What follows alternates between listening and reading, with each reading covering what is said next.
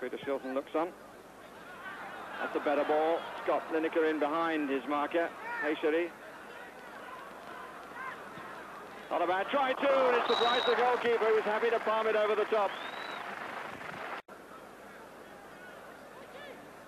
Again, Gascoigne to take the corner. Barnes on the near edge of the six-yard area.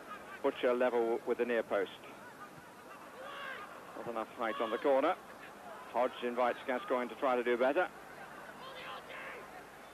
Which he has. That's a nice weight on that.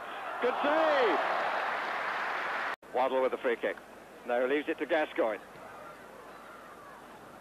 Benya here.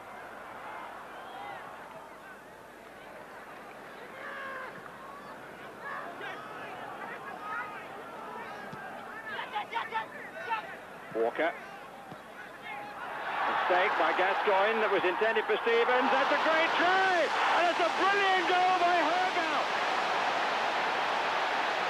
Gascoigne turns away, his hands on his hips, as there is total jubilation in what they call the Olympic Stadium here in El Menzah.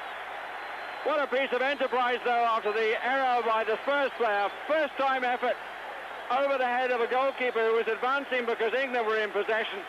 And Peter Shilton turns to find that Tunisia has scored. Spectacular stuff.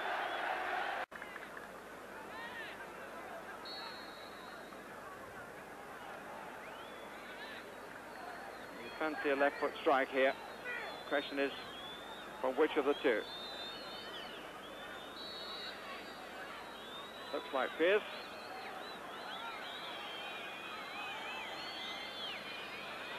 Gascoigne feels that the referee hasn't got everybody back, but Pearce will take it and hits the woodwork. Posts and crossbar are quite big, we noted walking around the ground.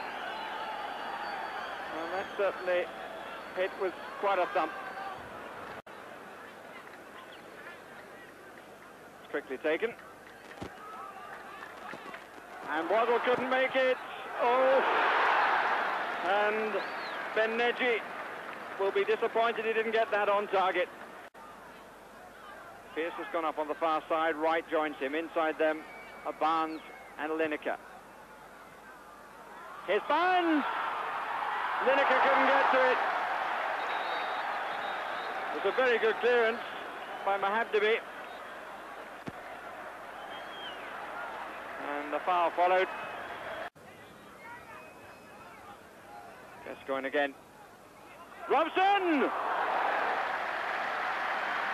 Goalkeeper made it look very easy. So a minute plus stoppage time remaining. Gascoigne. England pushing out. Flat diagonally forward of Gascoigne. Barnes on the left side.